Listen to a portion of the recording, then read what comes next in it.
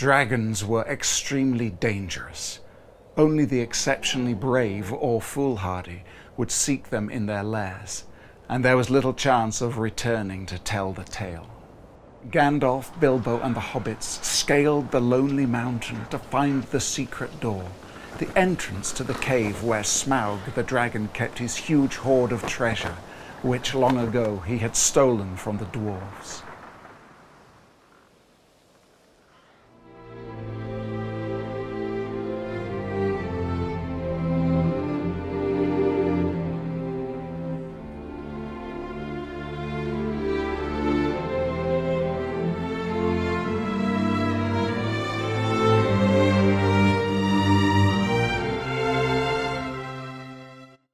Far, far down under the lonely mountain, Smaug, a great winged dragon of the Middle-earth, and one of the last of his kind, lay snoring atop an immense heap of astounding treasure.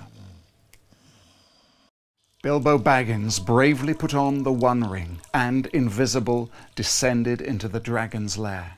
To prove his daring, he took an insignificant cup from the great pile of treasure Although Smaug possessed innumerable riches, he knew every piece, large and small.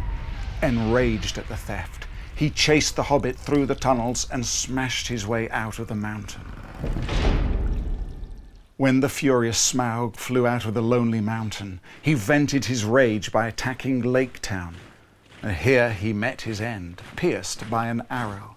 Now the treasure was unguarded, and orcs, accompanied by wargs, who were giant wolf-like creatures, marched to seize it. The dwarves called on the help of the elves and humans to defend their ancient birthright. Beorn was an ancient sorcerer, large, black-haired and powerfully strong, who lived in between the Misty Mountains and Mirkwood.